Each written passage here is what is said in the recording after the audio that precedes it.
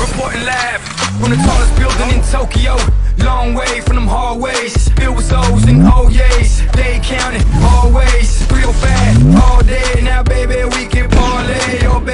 we party.